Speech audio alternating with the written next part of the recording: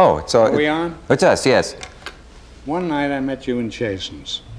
Yes, sir. We were both having dinner, not at the same table. You were sitting with a, a group, five or six other people, and I walked up to you, not knowing you, and I said, I think you're one of the greatest straight men I've ever seen. And you took umbrage at this. I was trying to compliment you, and you thought I was trying to insult you. I still think you're one of the greatest straight men I've ever seen. And I'm still taking umbrage. no, I, true. I, It's I appreciate It's it. true. I want to tell you something. There has never been a good comedian that didn't have a good straight man. Oh, You go down kind. through the ages of all the great comedians, they hmm. always had a great straight man. In my case, it happened to be Chico, because he was my brother.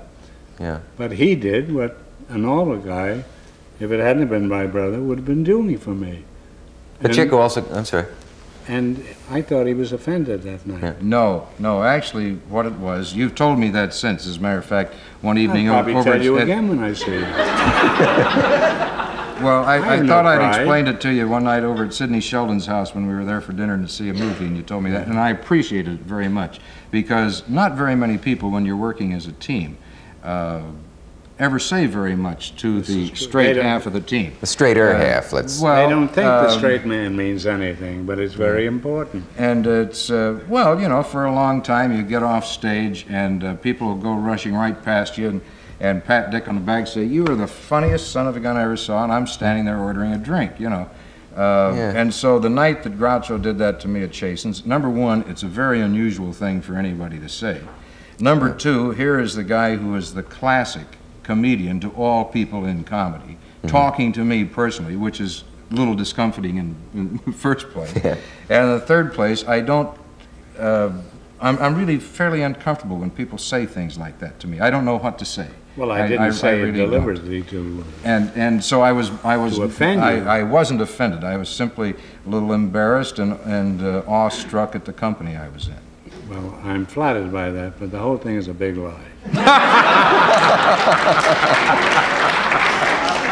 Now here's your chance I to be a straight man. I meant right. it when I said it, and I still mean it. Oh, you're very nice. And I watch you and I marvel at the equanimity and the style and class. Do you ever get, do you ever get tired of people copying you?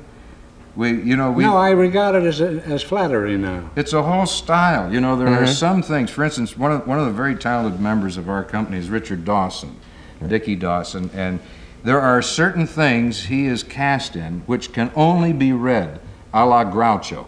And that's, That's what right. you see in many cast directions. There are many script directions. You'll see read like Groucho. Or a la Groucho, A la right. Groucho. And, you know, it's a mm-hmm. style. There's it's whole- On the it's other an hand, individual, definite I style. regard it as flattery when people do that. You should. so, Walter too. Matthau does that. He told me, he says, I've been imitating you all my life.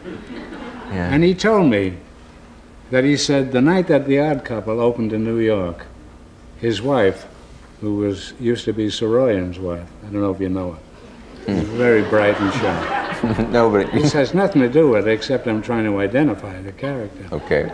And the night that he said goodbye to his wife and he walked to the elevator in New York on his way to do the opening night of Odd Couple, she called him back from the elevator and she says, Walter, tonight, not quite so much Groucho Marx, huh? But he took that kindly.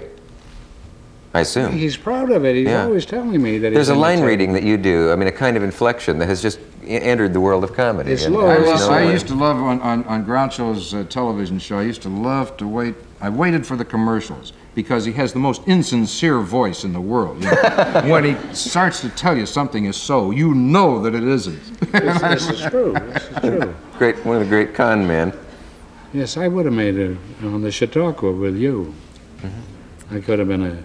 I must tell you one line. The first show I was in was called The Man of Her Choice. It was a melodrama. Yeah. And in the end of the first act, there were some papers. They were very important papers, and the villain had gone to visit her in the hospital, the leading girl. Mm-hmm.